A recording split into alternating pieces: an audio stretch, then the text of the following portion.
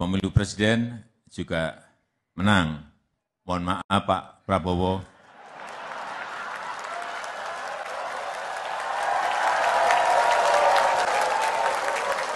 Kelihatannya setelah ini jatahnya Pak Prabowo.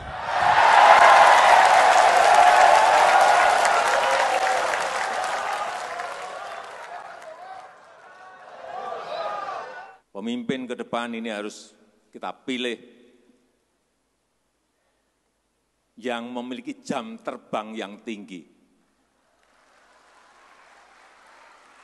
Salah satu yang saya lihat Bapak Erlangga Hartarto.